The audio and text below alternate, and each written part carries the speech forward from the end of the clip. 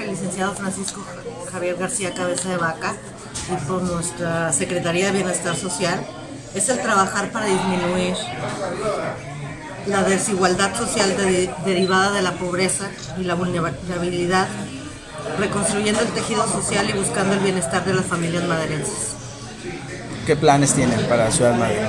¿Qué planes tengo? Bueno, pues como, como ha sido mi, mi forma de trabajar siempre, como lo pide nuestro gobernador, es el trabajar cercano a la gente, este, con el fin de conocer, escucharlos y bueno, eh, recibir sus, sus apoyos y, y peticiones ¿no? para hacer gestión. ¿Qué programas tiene Bienestar Social? Bienestar Social atiende adultos mayores con 70 y más, mujeres, deporte, eh, eh, y apoyos alimentarios. ¿Cómo lograr una proximidad mayor con la sociedad maderense y la delegación?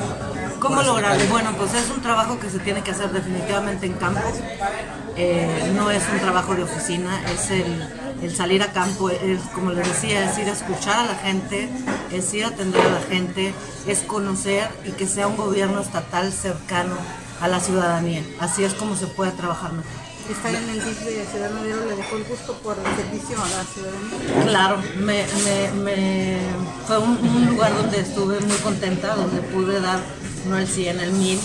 Este, hoy, y aparte con una muy buena este, mancuerna que era la señora Mariana Gómez de García de Vaca, que es una mujer con una inteligencia impresionante y un corazón muy grande, quien nos está enseñando día a día a ser mejores servidores públicos. ¿Dónde le pueden encontrar? ¿Dónde se pueden acercar? Que tengan la intención de, o bien la necesidad de llegar con bienestar social.